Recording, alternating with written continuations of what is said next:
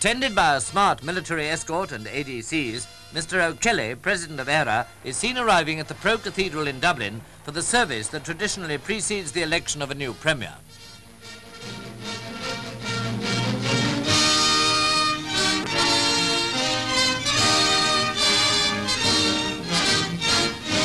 Among those at the Mass were Mr De Valera and members of his government.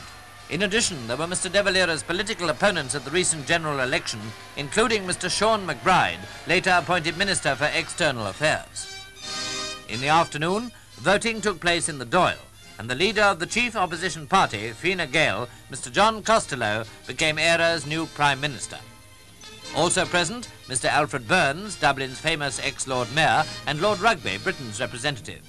Afterwards, at the presidential palace, Mr O'Kelly presented the seal of office to Mr Costello, who now takes over after Mr De Valera's 16 years as Premier.